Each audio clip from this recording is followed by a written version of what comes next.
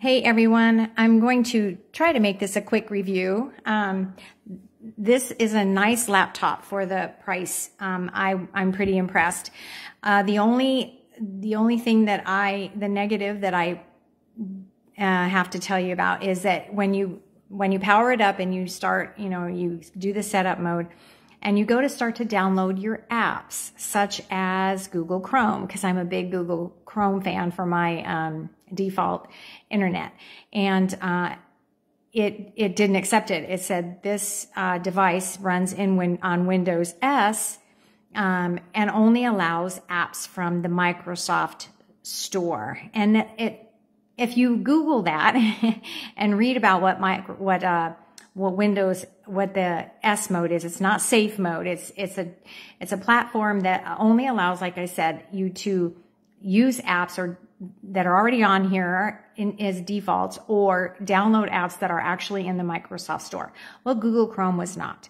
So, um, but you can simply go into your settings to change that, which I did. I Googled how to do it because I don't want the S. I want to be able to have access to all um, the applications of Windows. So you go, which I have, which is Windows 10 on here. So you go to your update and security um, let me see if I can show you here. You go to update and security and you go to activation and you click on that. Now it's not going to do it here because I've already switched it over. Now this says edition Windows 10 home, but originally it said edition Windows S.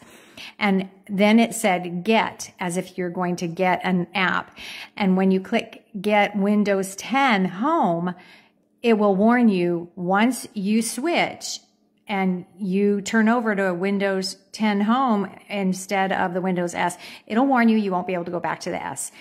S mode. And it's the only thing that that is, is it's a safety uh, measure that, um, so nothing, you can't install anything that, uh, that's outside of the win, uh, the Microsoft store, um, because they've deemed what apps are safe to use. So it's a, it's a good safety measure, but I prefer to have the uh, full gamut of the Windows 10 operating system and download the apps that I want. I don't want to be dictated. So, um, with that said, I did download Google Chrome. So I'm going to, after, once I switched over, it was easy. You just go and download all the apps you want. Um, I just wanted to show you quickly um, the keypad here. This is kind of important because I was a little confused about this at first. Okay, so the key mouse pad. This is your mouse pad. I do have, I did install a little uh, wireless mouse, which you're able to put in little mini USB there, micro USB. And here's my mouse, um, which works great. Okay, so I can use that, but I can also use the keypad here. Um, now, when you want to go to, I, when you want to go to your uh, numbers pad, rather than using and typing your numbers and going back and forth up here at the top of the keyboard, you have your 10 key here. So um, you simply take your finger where it says slide and you're going to slide it down because there's a little keypad here. And that is going to switch you over to your numbers mode. So let me see I can, now I'm going to start typing some numbers.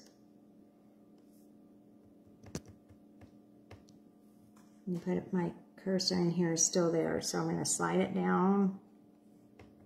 There, there's your numbers. Fives, six, nine, and then you have, now you want to say you're done with your numbers and you want to go back up to using your mouse. There's your little arrow. So that shows you go up to the direction to begin to use the cursor again. So that's how that works. Um, other than those two little things, it works just like a laptop that has Windows on it, your Windows um, Windows operating system. So it's just, this is exactly like my desktop. Um, it is not, I have very high internet speed in my home and uh, it does not upload uh, very quick. I mean, it's fine. Um, for, like I said, for the price I paid. Um, it's not, it's not a Dell. It's not HP, but it works great. It's a great starter computer. It's great to just tag along, you know, and carry along if you want to just keep, you know, have your um, mobility, you know, take it to wherever and you have your desktop right with you. That's what the convenient, it's a convenient thing and I didn't want to spend a lot of money on that. So this is really, really worth it. It's a great laptop. It's very light and thin. And um, so I really, that's about it. There's not, um, like I said, there's not a lot of speed. Um, the internet itself is good, but the downloading and there, let me show you because I'm going to just click on that. See, I can show you how how uh, how it doesn't always boot up right. There we go. That's not bad at all. It does take a bit for the pages to load. Um, but once you get going, it you can see it's it's fine. It turns over just fine. Um, and the downloads are what are you're going to find that are going to be a little bit slower than what you might be used to um, using your PC on your desktop. So that is about it. I hope that the review was somewhat helpful for you anyway. And thanks so much for watching. Take good care.